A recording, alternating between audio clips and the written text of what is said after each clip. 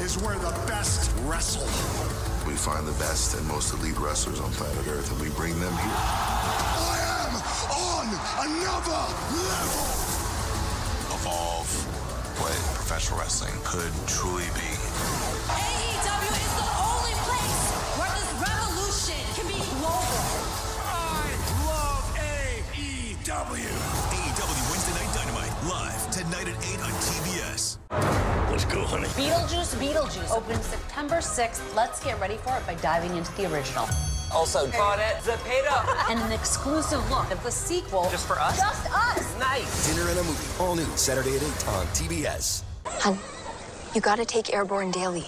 Unlike some others, it has seven key nutrients to help fill those holes your immune system may have. Holes? What holes?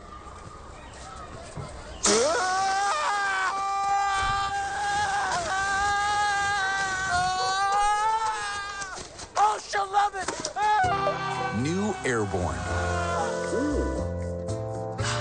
Seven immune supporting nutrients. Our most complete support yet. What's up with your dad, Chloe? Ever since he got AT&T's best deal on the new Samsung Galaxy, he's been up on his high horse. Best deal got me feeling like a big old cowboy. That's a very horse Perhaps you can wait in the waiting room? I'll just go wait in the waiting room. Ride high with AT&T's best deal on the new Samsung Galaxy Z Flip 6. They say you're better safe than sorry. You can't reinvent the wheel. Curiosity killed the cat. They say take the path of least resistance.